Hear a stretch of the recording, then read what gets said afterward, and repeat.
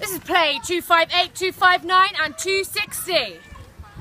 Gwen, I know it. I detest bulgur wheat and recycling. This has made me very unpopular in Crouch End. Um.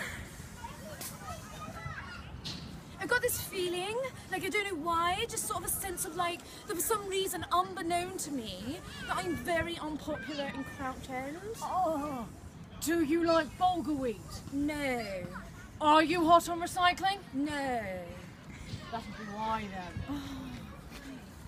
Yeah, I bought some organic carrots today. Oh, you said that very half-heartedly, Gwen. I feel half-hearted. Don't let them ostracise you, Gwen. In a way, our names rhyme.